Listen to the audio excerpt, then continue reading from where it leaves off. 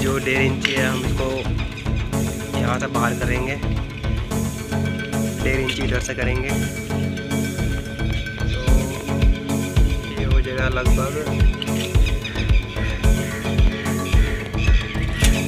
Right जो कि चार इंची काट रखी है पहले से। आप देख सकते हैं।